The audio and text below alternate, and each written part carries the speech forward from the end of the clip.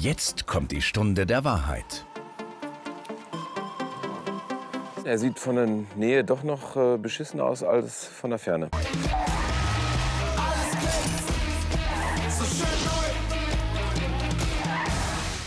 Mutter Frauke weiß nicht, dass Sohn Dennis Sidney Hoffmann gerufen hat.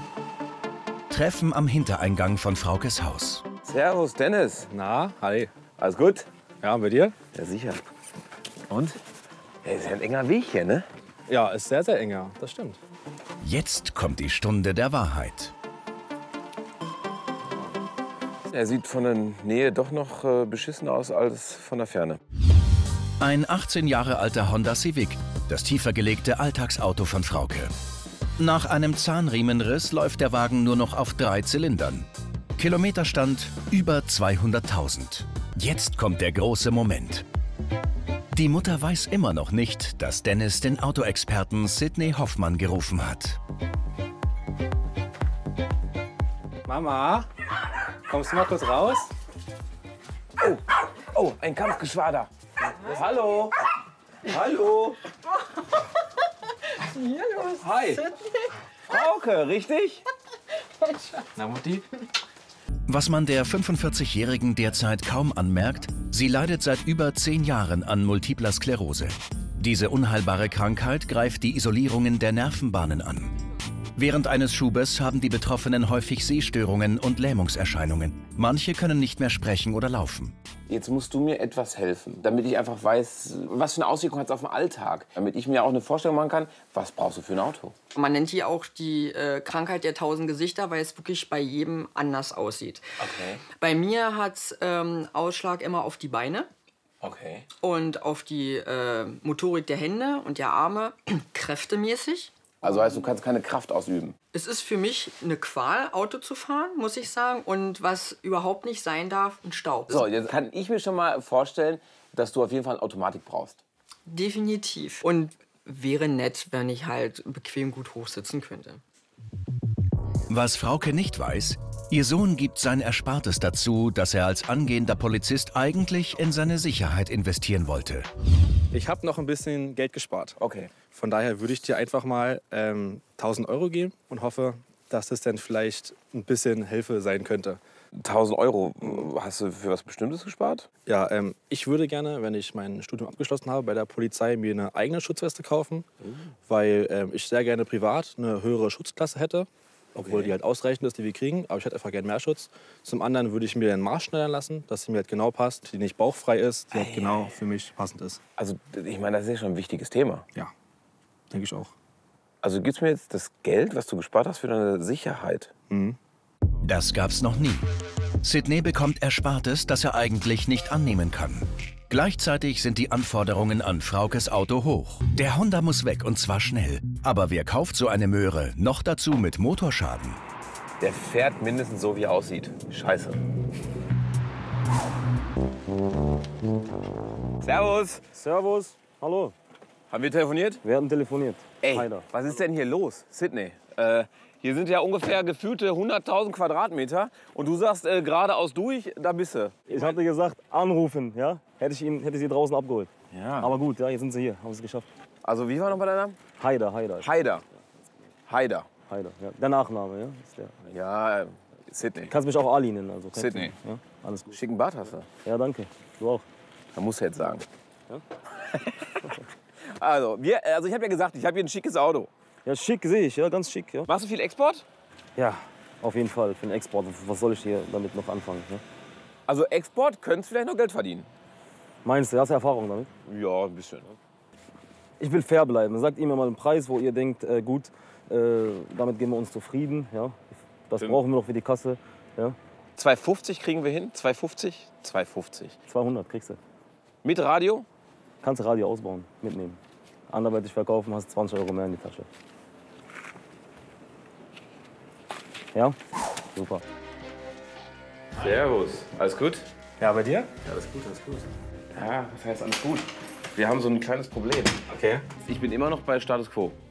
Also sprich bei 1200 Euro. Okay. Ähm, ja, was soll ich sagen? Es wird uns jetzt eine Aktion retten. Folieren sehe ich da.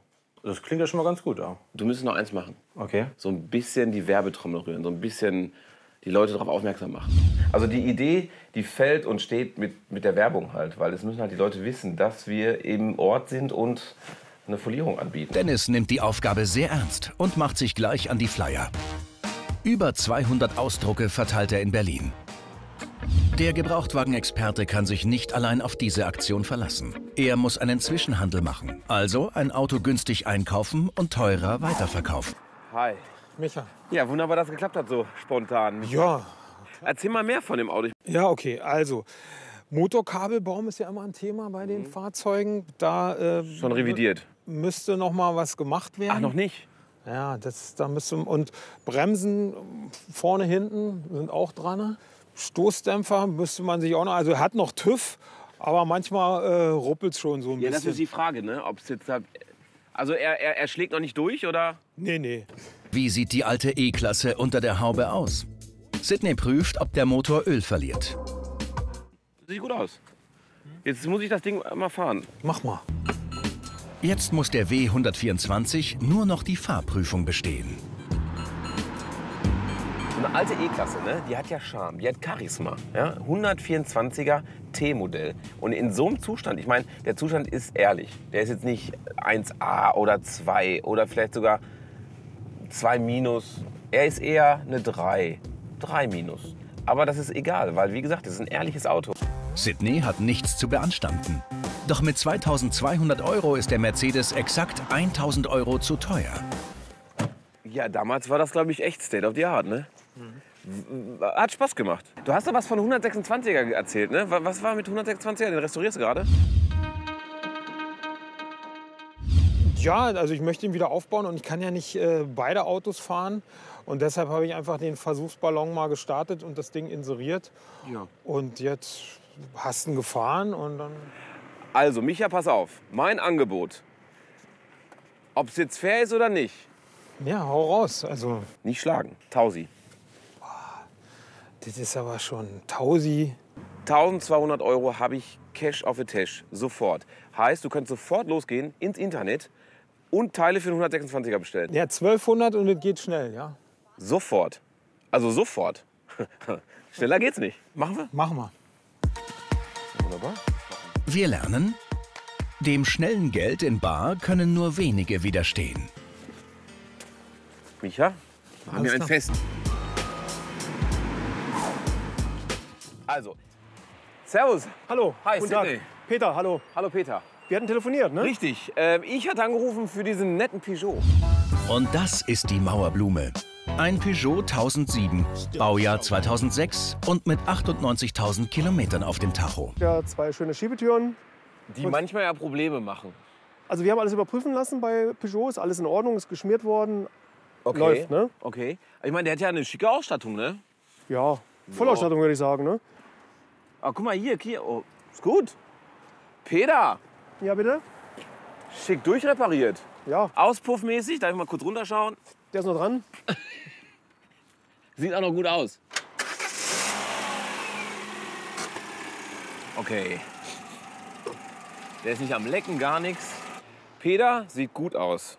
Darf ich ja eigentlich gar nicht sagen. Weil eigentlich muss ich ja sagen, ach Peter, Runterhandeln, genau. Setzt sich der gute Eindruck auf der Straße fort? Er fährt gut, man steigt hoch ein, man hat eine Halbautomatik. Also es ist ein Traumkandidat für Frauke. Jetzt muss nur Peter auf mein Deal einsteigen. Den 124er in Zahlung nehmen und zwar nicht für günstig, sondern für viel. Warum sollte Händler Peter an einem Auto mit 300.000 Kilometern von 1995 interessiert sein? Er findet ja schon zehn Jahre alte Autos alt. Da bist du ja. Probefahrt überlebt. Jawohl, äh, cooles Ein- und Aussteigen, ne? Ja, Ist wie so majestätisch. lass mich mal probieren. Ja, gerne mal. Also. Und? Jetzt, Wenn du dich jetzt so raus. Super. Gut, ne? Also, äh, Profahrt war gut. Hm, das ist schön. Was möchtest du denn für dieses Kfz haben? Naja, ähm, wo ist das Preisschild? Hast du das nicht gesehen? Das habe ich, hab ich entsorgt. Äh, ja, ja, typisch so. Also, sag mal. Weißt du, was die kosten? 8 Euro kostet die Hülle. Ja, habe ich ja nur äh, beiseite gepackt. Gut. So, So, hier steht alles drauf. dreieinhalb. Genau. Fand ich auch im Internet ganz sympathisch, deswegen bin ich ja hier. Finde ich sympathisch, Ja. aber kann man ja vielleicht was dran machen. In dieser Preisklasse reden wir nicht drüber. Ab 20.000 Euro können wir verhandeln. Wenn Händler Peter Naumenko jetzt nicht auf den Deal eingeht, dann war alles umsonst. Und das Geld für Dennis Schutzweste ist auch weg. Und Sid bleibt auf der alten E-Klasse sitzen. Na gut, also du möchtest also nur 3.000 für den Wagen geben. Ja, genau. Und jetzt pass auf, jetzt habe ich den Deal deines Lebens. Na, dann zeig mir mal. Du wirst es auch schätzen können, weil du warst in der Zeit, wo das Auto populär war und auch wirklich gut dabei war, da, war, da, warst du voll im Saft. In den 80er Jahren. Ja, 80er, 90er Jahren. Gut. Ein 95er T-Modell. Die Krücke hier? Moment, Moment, Moment, Moment. Leder. Volle Hütte. Ehemals Schweizer Auto. Aha. Schweizer gehen immer sehr gut mit ihren Autos. Genau. Das weiß ja. Garagenwagen. Ähm, 300 gelaufen. Mhm. Jetzt pass auf, wir machen das so. Du gibst mir das Auto mit. Ich lasse dir den hier stehen und ich gebe dir noch 800 Euro. Da muss ich äh, bei Mercedes anrufen, im Museum, ob die Interesse haben für den. Ne? Nein, das ist ein elegantes Auto. Überleg mal, wenn du hier mit Berlin, äh, durch Berlin damit fährst, Ach, ich fahre doch nicht mit in so einem alten Auto, Mensch. das gibt Charisma. Peter, Ja, Der Händler droht abzusprengen. Kann Sidney Hoffmann das Ruder noch rumreißen? Aber Peter Naumenko hat nicht mit der Geheimwaffe aus Dortmund gerechnet. Einfach alles kurz und kleinreden. Aber das Ganze kriegst du wirklich, also auf schnell kannst du drei damit machen, dreieinhalb ist auch drin. Ja, ich muss irgendeinen Sammler äh, suchen, weil ich will so ein Auto hier nicht hinstellen, der muss schnell weggehen. Ne? Ja, ich würde sagen, äh, ich nehme das Auto und du gibst noch 800 Euro zu und dann Ja. ja. kommen wir klar. Peter, ich danke dir. Die 800 Euro muss Sid allerdings bis morgen auftreiben. Der Tag der Entscheidung. Denn heute startet die Folieraktion. Sidney will Autos stylisch bekleben und dafür abkassieren. Ich habe eine Menge Flyer ausgedruckt, habe die an Tankstellen, Fahrzeugen rangepinnt, habe die an Personen ausgeteilt und ich hoffe einfach, dass es gereicht hat. Niki, das ist Dennis. Für Dennis Mutter machen wir das. Hallo Dennis. Alles gut? Alles klar. Also, Dennis hat nämlich jetzt ein paar Leute organisiert. Richtig. So, und dann können wir quasi starten. So, dann wollen wir mal. Erster Kunde wartet schon. Sidney muss heute mindestens 800 Euro verdienen. Besser noch 1800, wenn der Auftraggeber Dennis seine Ersparnisse für die Schutzweste zurückgeben will. So, was sagst du? War eine sehr gute Idee auf jeden Fall. Passt. Warum sie sowas nicht schon äh, vom Werk aus machen? Finde ich gut, weil so könnten wir nichts mehr machen. Verlierer Niki hat einen Seat von einem benachbarten Autohaus geholt. Die Inhaber wollen ihr neues Logo auf den Wagen haben. Wer gibt denn jetzt hier die Flocken für Berolina? Die hat mir die Kohle direkt in die Hand gedrückt. Wunderbar. 300 Cash. Ich komme mir mal vor wie so ein Geldeintreiber, ne? Schafft es Sidney, das Geld für den Traumwagen für die MS-kranke Frauke zusammenzubekommen? Und schafft er es außerdem, dem angehenden Polizisten Dennis seine 1000 Euro für die Schutzweste zurückzugeben? Das könnte eine ganz knappe Kiste werden. Drei Dankeschön. Und vier. Jawohl. Okay. Besten Dank. Sid macht Kassensturz und ist erleichtert. Nach der Investition in den Mercedes hatte er keinen Cent mehr. Doch die Aktion hat immerhin 1300 Euro gebracht. Das reicht, um den Peugeot 1007 bei Händler Peter abholen zu können. Die, die da waren, waren spendabel. Und somit äh, habe ich sogar für Dennis noch ein bisschen was über. Also Peugeot ist drin und Dennis kriegt ein bisschen von seinen 1000 Euro wieder. Ein gutes Startkapital. Das war die Ausgangsbasis, ein zerdelter Honda mit Motorschaden. Und das ist die Zukunft von Frauke und Dennis. Sydney hat es geschafft. Auf allerletzter Rille. Und jetzt lacht die Sonne. Frauke und Dennis hoffentlich auch. Was meint er, was es ist? Ich glaube, das ist der Agila, den Mama haben wollte. Ein Agila. Mama, So hoch würde ich gar nicht pokern. Nee. Nee. Dennis, jetzt nicht schreien oder sonstiges. Ne? Ich weiß ja nicht, ob du so eine. Ne? Ah! Also. Frauke, alles gut? Ja. Bist du aufgeregt? Ja. Okay, wir warten noch. Okay, warte, warte, warte. Tada!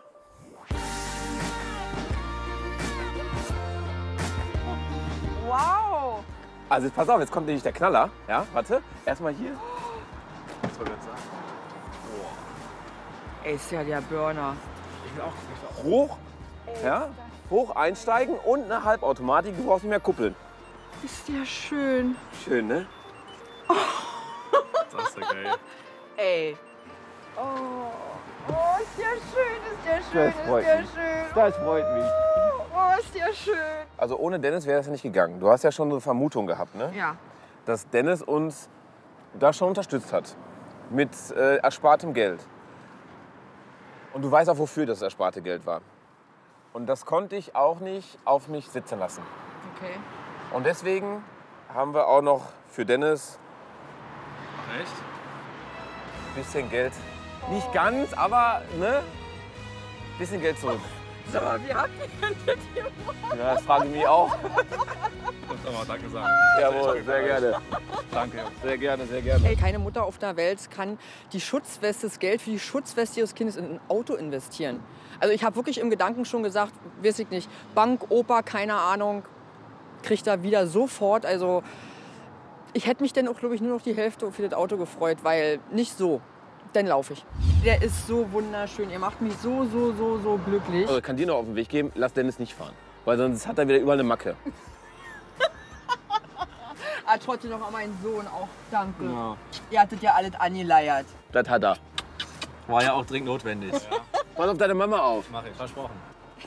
Tschüss. Tschüss.